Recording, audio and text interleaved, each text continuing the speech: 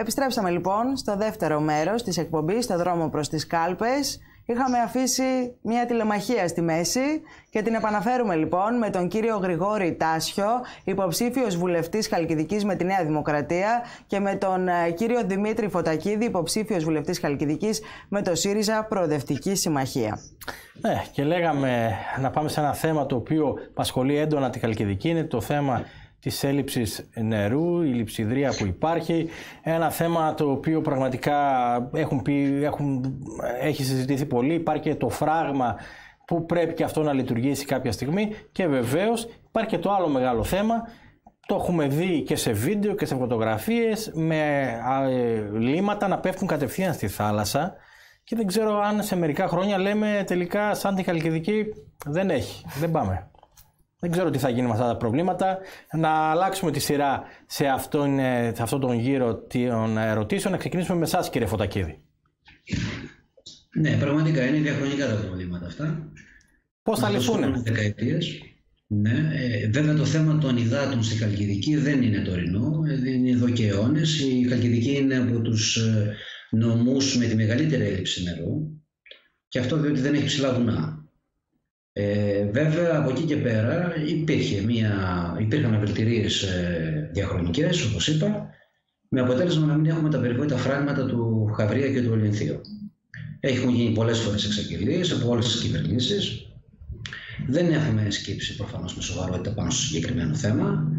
Ε, δεν το έχουμε δει μάλιστα σε συνδυασμό με, την, με το παραγωγικό μας μοντέλο, διότι μην ξεχνάμε ότι έχουμε μετατρέψει την ελιά σε, από ξερική σε πουτιστική, δηλαδή σε ένα υδροχαρές φυτό, ενώ δεν ήταν. Αυτό βέβαια λόγω της προσαρμοστικότητας που πρέπει να έχει η παραγωγή, ανάλογα με τις ανάγκες, τις διατροφικές και την εποχή που ζούμε. Εδώ λοιπόν υπήρχαν διαφορετικές ανάγκες.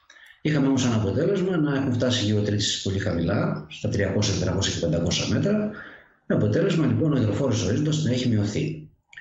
Ε, βέβαια αυτές είναι διαπιστώσεις. Ε, δεν μπορούμε να αρκούμαστε στις διαπιστώσεις, θα πρέπει να το δούμε το θέμα με πολύ μεγάλη σοβαρότητα σίγουρα είναι πολύ ψηλά στην ατζέντα. Πιστεύω όλων των κομμάτων, όλων των ανθρώπων, όλων των φορέων.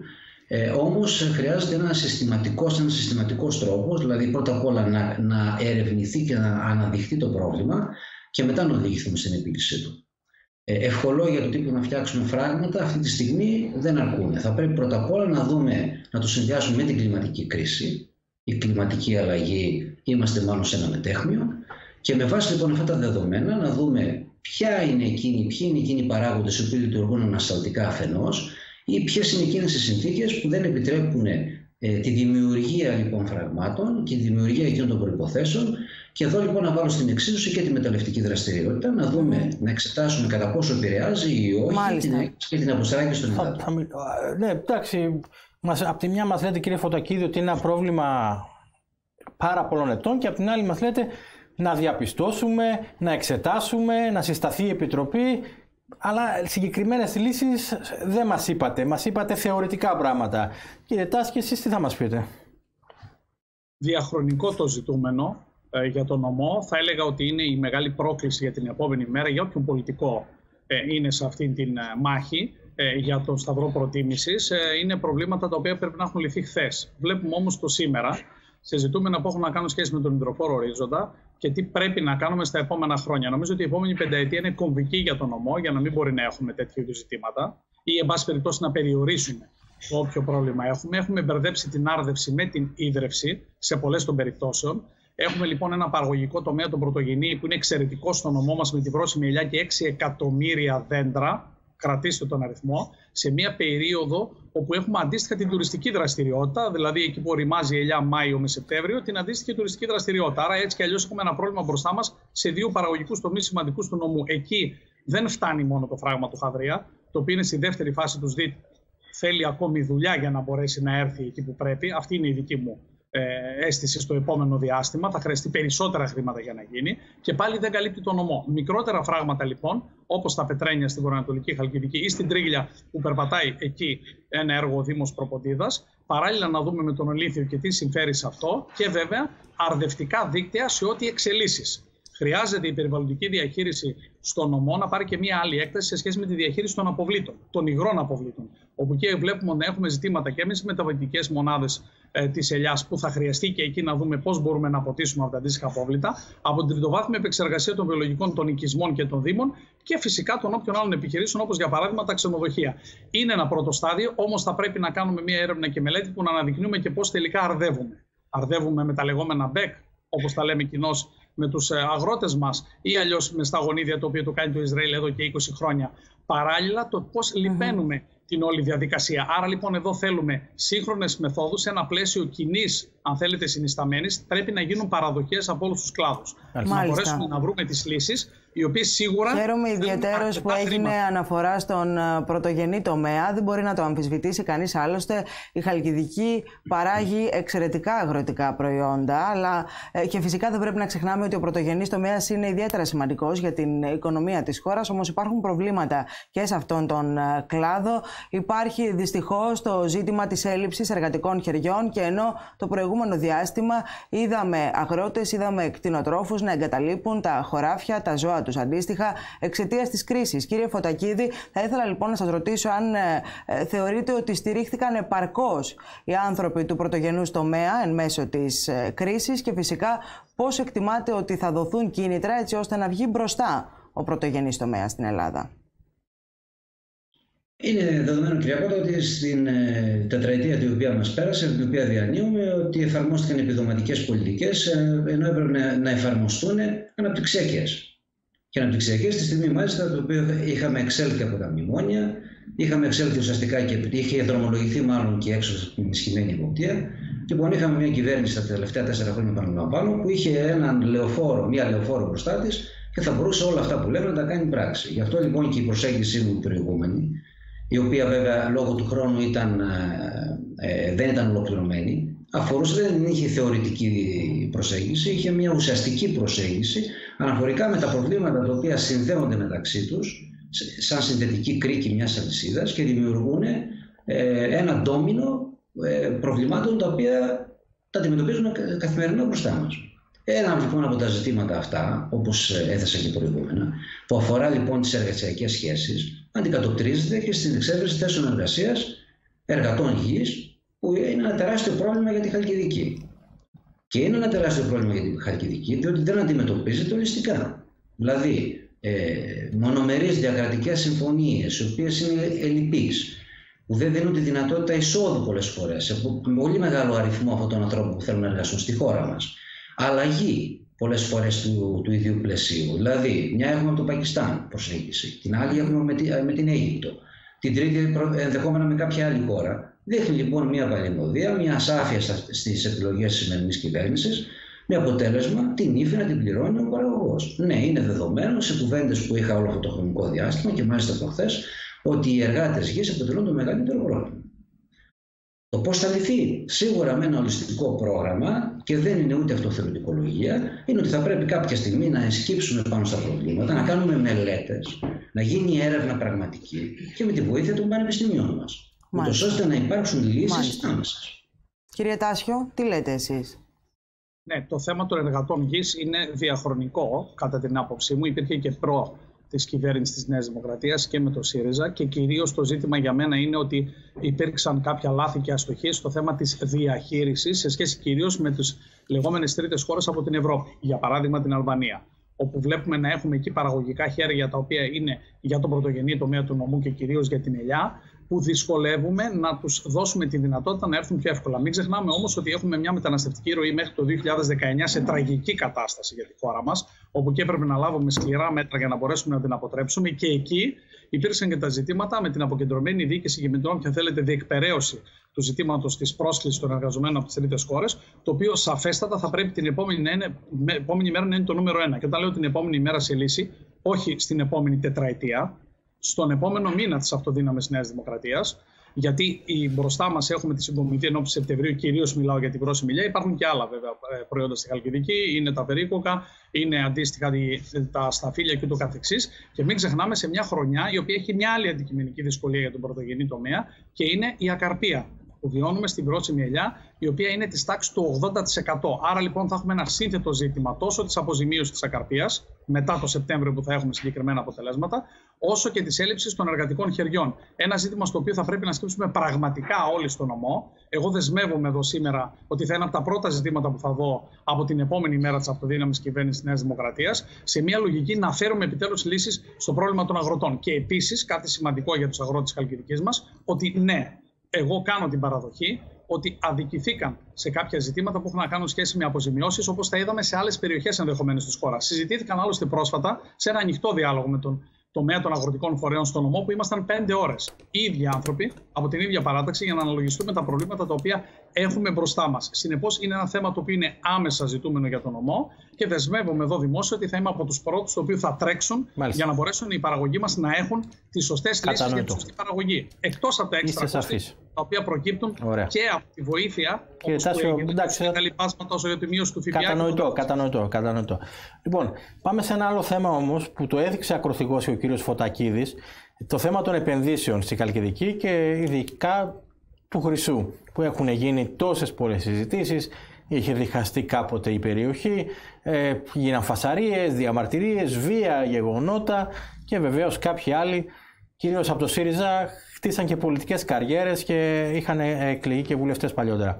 Οπότε θα ήθελα την άποψη σας κύριε Φωτακίδη για αυτή την επένδυση, την πολυθρύλητη επένδυση, αν τελικά, γιατί όταν είχε κυβερνήσει και ο ΣΥΡΙΖΑ τελικά συνέχισε η επένδυση, τι θα γίνει από εδώ και πέρα όταν έρθει ο ΣΥΡΙΖΑ στην εξουσία σχετικά με την επένδυση του Χρυσού και αν θεωρείτε ότι ωφελεί ή βλάπτει την περιοχή σας; Ναι, νομίζω ότι δεν είναι ναι, όχι άσπρο μαύρο. Χιλιάδες χρόνια έχουμε μια δραστηριότητα μεταλλευτική στη Χαλκιδική, όχι μόνο βέβαια στην περιοχή της Βόρειας Χαλκιδικής, στο μεταλλείο Κασάνδρας, μια που αναφέρεστε σε αυτό. Έχουμε μεταλλευτική δραστηριότητα, εξορρυκτική με δραστηριότητα και στην ε, Γερακινή ε, και στο Πάβδο και σε άλλες περιοχές με μικρότερα λατομεία.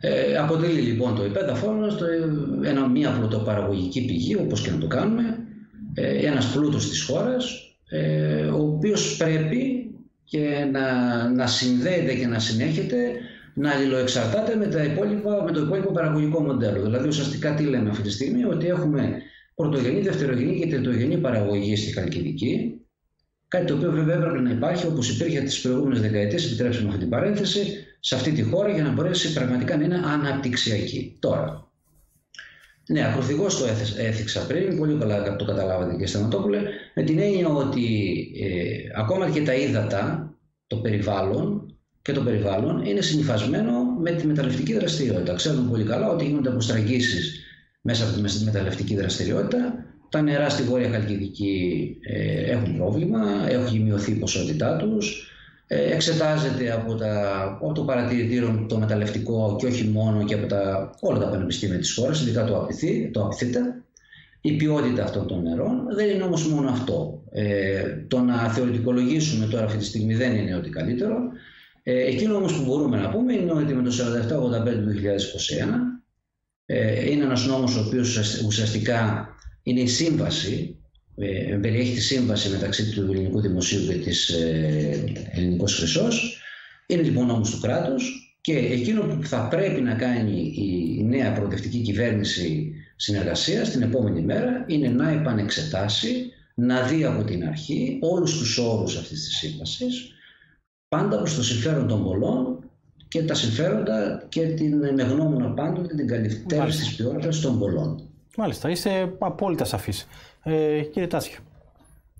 Ναι, θα πω τον κύριο Φωτακίδη ότι η επανεξέταση έλεγε ο ΣΥΡΙΖΑ και το διάστημα 15-19 που έλεγε θα το κλείσει το μεταλλείο. Τελικά καταλήξαμε να είναι ανοιχτό. Και όχι μόνο να είναι ανοιχτό, να έχετε μια νέα επένδυση στις Υπουργές, στη τάξης των 800 εκατομμυρίων ευρώ, όμως με διάφορες συνισταμένες, τις οποίες πρέπει να τις βάλουμε στο τραπέζι, τόσο σε σχέση ε, με τους περιβαλλοντικούς όρους και την τήρηση αυτών, όπου εδώ είναι πολύ ξεκάθαρη η προσέγγιση και η δική μου σε επίπεδο ε, νομού, ότι θα πρέπει όλοι οι κοινωνικοί εταίροι να συμμετέχουν σε, αυτή την, αν θέλετε, σε, αυτή τη, σε αυτό το παρατηρητήριο που πρέπει να γίνει για, την, για τους περιβαλλοντικούς όρους που να τηρούνται αυστηρότατα στο επόμενο χρονικό διάστημα. Απ' την άλλη βλέπουμε μια σύμβαση η οποία είναι συγκεκριμένη για 20 χρόνια, για ένα συγκεκριμένο διάστημα αντίστοιχα, ενώ δεν συνέβαινε τα προηγούμενα χρόνια. Βλέπουμε μια σύμβαση η οποία δίνει ξεκάθαρα υπογεγραμμένα 80 εκατομμύρια δολάρια για τα επόμενα 20 χρόνια, 15 την πρώτη πενταετία, τα υπόλοιπα, στα, στα, στα υπόλοιπα έτη, όπου εκεί είναι ευθύνη όλων να κάνουμε τις παραδοχές μας και της τοπικής κοινωνίας και των όποιων βουλευτών προκύψουν και της αυτοδιοίκησης στο πώς θα τοποθετηθούν τα χρήματα στην εταιρική κοινωνική ευθύνη. Μιλάμε για συγκεκριμένα ζητούμενα που υπάρχουν από τη μελέτη κοινωνικών και περιβαλλοντικών επιπτώσεων. Και σαφέστατα ένα άλλο μεγάλο ζήτημα είναι το πώς θα δούμε την εντοπιότητα στις προσλήψεις των εργαζομένων. Το οποίο το είδα και εγώ το τελευταίο διάστημα που έκανα αντίστοιχα τι περιοδίες μου. Βέβαια, εδώ έχουμε διαφορετικές εργασιακές σχέσεις, έχουμε εργολαβικές εργασιακές σχέσεις, αλλά και αντίστοιχα της εταιρείας, όπως για παράδειγμα στην Ολυμπιάδα. Είναι ένα σύνθετο ζήτημα το οποίο θα πρέπει, όπως είπα και πριν, σε ανοιχτό διάλογο να μπορέσουμε να φέρουμε τα απαραίτητα μεγέθη στην τοπική κοινωνία. Μην ξεχνάτε ότι εδώ η, η περιβαλλοντική όρη και η τήρησή τους είναι το σημαντικό για να μπορέσει να συνεπάρξει και ε, με τον τουρισμό της περιοχής στο επόμενο διάστημα. Κρατήστε μόνο ένα πολύ σημαντικό στοιχείο αλλαγής των περιβαλλοντικών όρων. Ότι είχαμε ουσιαστικά το 12 για υγρά απόβλητα ε, υγρά απόβλητα δύο μεγάλα φράγματα σε μια δύσκολη περιοχή, ακόμη και σεισμογενή, ενώ τώρα πάμε σε ξηρή απόθεση mm-hmm. ενός φράγματος με πολύ διαφορετικά τα χαρακτηριστικά της περιβαλλοντικής διαχείρισης. Όμως είμαστε υποχρεωμένοι να είμαστε θεματοφύλακες και πολιτικά αλλά και ουσιαστικά. Εάν θέλετε να επανέλθετε, κύριε Τάσιο, φυσικά θα έχετε τη δυνατότητα. Α αλλάξουμε, Ανδρέα, για λίγο θεματολογία. Α πάμε στους ε, νέους, στη σχέση τους με την πολιτική. Δεν πρέπει να κλείνουμε τα μάτια στο γεγονός ότι την φετινή χρονιά είναι περίπου 430.000 ε, οι νέοι ψηφοφόροι. Ε, και μάλιστα βλέπουμε την ίδια ώρα και μια προσπάθεια από πλευράς των πολιτικών αρχηγών, των υποψηφίων, αν θέλετε, να έρθουν πιο κοντά στους νέους μέσω του TikTok, μέσω τέτοιου είδους πλατφορμών. Ε, κύριε Φωτακίδη, θεωρείτε ότι επιτυγχάνεται ο στόχος κοινός, θα πάνε οι νέοι να ψηφίσουν; Ναι, είναι λογικό για αναμενόμενο βέβαια όταν έχεις ε, καινούριους νέους ανθρώπους, νέους ανθρώπους, καινούριου ψηφοφόρους, μια που το διακύβευμα είναι οι εκλογές, το ίδιο σαν διακύβευμα είναι οι εκλογές, ε, να τους προσεγγίζεις.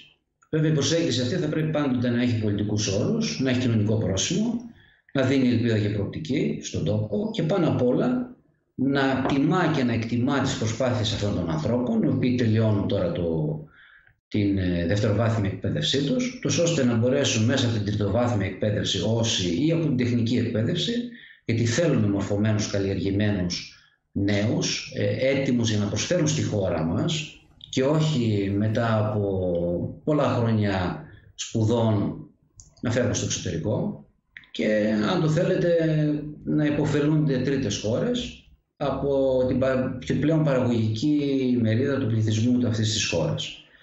Τώρα, αυτή την εισαγωγή την έκανα ακριβώς για να καταδείξω ότι ναι, οι νέοι είναι πολιτικοποιημένοι. Όπως νομίζω ότι πολιτικοποιημένοι σαν νέοι ήμασταν όλοι μας. Με ποια έννοια.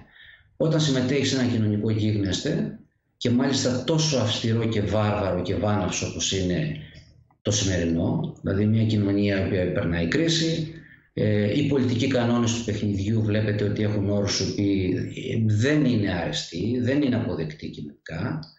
Ε, γίνονται διάφορα, οι νέοι ακούν πολλά, δείχνουν μία άρνηση απέναντι σε αυτά τα στερεοτυπικά τα οποία ενδεχόμενα πρεσβεύουμε εμείς οι μεγαλύτεροι και προσπαθούμε να τα διαφυλάξουμε. Αυτή είναι η πραγματικότητα. Οπότε εκ των πραγμάτων νιώθουν ότι είναι στο περιθώριο. Ή μάλλον ότι δεν έχουν τις ευκαιρίες εκείνες για να μπορέσουν να μπουν στο προσκήνιο. Χρέος μας λοιπόν είναι, ημών των μεγαλύτερων, αυτό λοιπόν το περιθώριο να τους δείξουμε ότι δεν υπάρχει και ότι είναι η επόμενη μέρα, η συνέχεια του τόπου και είναι το μέλλον αυτής της χώρας. Κύριε Τάσιο, εσείς τι λέτε, ποια είναι η γνώμη σας; Καταρχήν, οι 443.000 νέοι ψηφοφόροι δημιουργούν κόμμα. Άρα αντιλαμβάνεστε ότι αν το είχαμε αύριο σαν ένα ποσοστό ε, στο κοινοβούλιο θα ήταν πάνω από το 3% και το όρο κύριε Σταματόπουλο αντιλαμβάνεστε τι λέω, δηλαδή μέσα σε μία μέρα όχι σε μια, αν θέλετε, ένα διαχρονικό διάλογο μιας κομματικής παρέμβασης. Αυτό και μόνο πρέπει να μας προβληματίσει για τα επόμενα χρόνια. Δηλαδή, ότι έχουμε μια νεολαία που θέλει οπωσδήποτε μια δίκαιη Ελλάδα, που θέλει δουλειές στη χώρα, καλά αμοιβόμενες, μια νεολαία που θέλει να ακούει τις αλήθειες με όποιες προεκτάσεις μπορεί να έχουν αυτό και μια νεολαία η οποία πράγματι ε, ζητά και ε, αναζητά, αν θέλετε, τις ευκαιρίες μέσα στη χώρα, μέσα στην πατρίδα. Εκεί είναι λοιπόν το μεγάλο ζητούμενο της επόμενης μέρας. Χρειάζεται να βρεθούμε κοντά τους. Σε όλη την περιοδία μου ε, αυτό το διάστημα προσπάθησα να βρω αρκετούς νέους και να κάνουμε αυτή την κουβέντα. Νέοι που μπορεί να είναι 17 χρονών, που είναι όπως ξέρετε ένα μεγάλο ποσοστό, 110.000 περίπου που ψηφίζουν για πρώτη φορά. Νέοι οι οποίοι είναι 23 χρονών και είναι έτοιμοι να μπουν στην παραγωγική διαδικασία.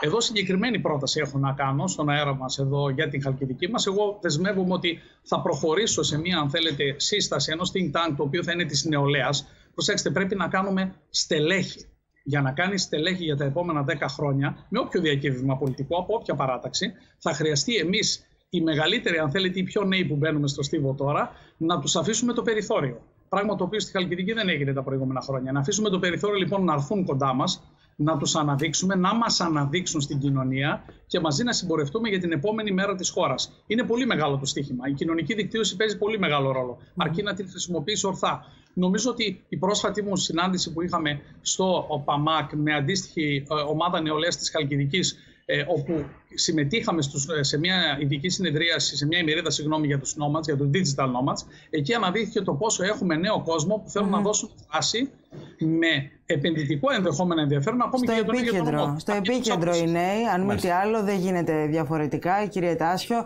Λοιπόν, επειδή πλέον ε, έχουμε λιγοστό χρόνο στη διάθεσή μας, θα δοθεί η δυνατότητα στον κάθε έναν από εσάς για ένα λεπτό να απευθύνετε ένα μήνυμα στους τηλεθεατές μας ή ενδεχομένως να αναφερθείτε σε κάτι το οποίο να παραλείψαμε νωρίτερα. Κύριε Φωτακίδη, σας ακούμε.